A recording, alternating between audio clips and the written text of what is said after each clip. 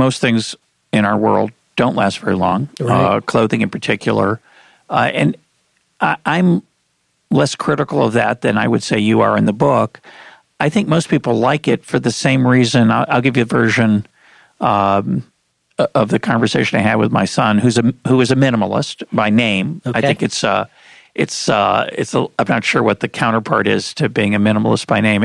You know, if you're not careful, minimalism is just an excuse to buy different stuff to carry your minimalist um, goods with and in. But he's something of a minimalist. Let's just leave it at that. And he was talking about how Apple AirPods wear out after about two years. The battery can't be saved; it'll it'll just not be rechargeable after about two years. And he was saying how horrible that is. And I thought, well, it's a little horrible, uh, but it's also the fact that probably in two years there's going to be a much better model coming along, and I would probably like to upgrade.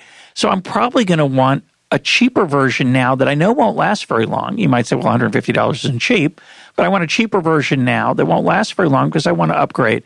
And I think that's true of fashion a lot. We're very rich. It's it's a sign of our wealth that much of the stuff that we have wears out. So we, it's not just that we'd like to get a good price. Mm-hmm. We'd like to get, have a, pay a good price because we want to reserve the right to get a better item in the near future. Well, I, I totally agree with you, and and I think what's been really remarkable over the last you know 40 years in particular is is not just you know we our our society say the United States has grown incredibly affluent over that period, but but at the same time China in particular, but East Asia in general has become incredibly proficient to manufacturing to certain price points. Oh, you know, and and I've had the experience. I reported in China and Chinese factories for many years, and and it was one of the most amazing things I ever encountered was going into an apparel factory, and I actually heard the apparel manager, the the factory manager say, "Well, you like this design that was being made for an expensive brand in the U.S. Well, we can make this at your price point, same garment, you know, no problem." And I encountered that a few years later with suitcase designs,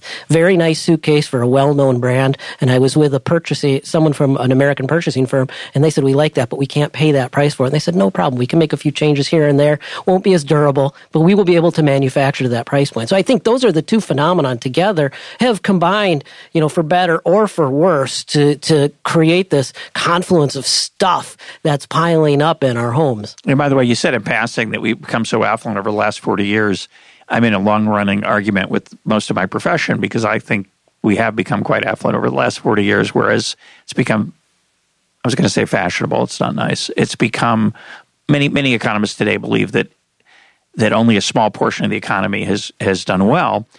As I was reading your book, I was wondering if there's some data one could get at uh, about waste, about garbage, about throwing stuff out that shows how widespread uh, that affluence is. The, the, the magnitude of these uh, uh, people throwing away and recycling things is so large, it's kind of hard to argue that it's just a small slice of the American economy. Right. Well, you know, I've been covering the waste and recycling trade for, you know, a good chunk of my professional life. And there's a few things that are axiomatic in, in waste and recycling. And that is the more affluent a society is, the more it throws away. And, and I mean, the data is really clear on that. And it's, it's really no accident that, for example, China's waste and recycling numbers have just skyrocketed in recent years. And they're, they're not to the per capita point of the United States yet, but they are sheer volume the world's largest generator of waste right now, and and that isn't just people at the very top in Beijing. I mean, it's it's people across the income spectrum.